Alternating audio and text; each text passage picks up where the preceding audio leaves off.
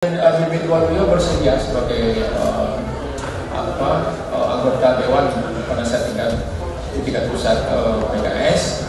Hanya beliau hari ini berhalangan, halang berhalangan dan uh, nanti kita akan lakukan komunikasi lagi. Uh, saya khawatir beliau di luar negeri ya, karena terus terang pelantikan ini juga menyesuaikan waktu satu sama lain agak agak agak mepet waktunya. Uh, begini Pak, Dewan Panasya di tingkat pusat ini bisa bertambah terus anggotanya seperti Dewan Pakar sesuai kebutuhan kita ke depan.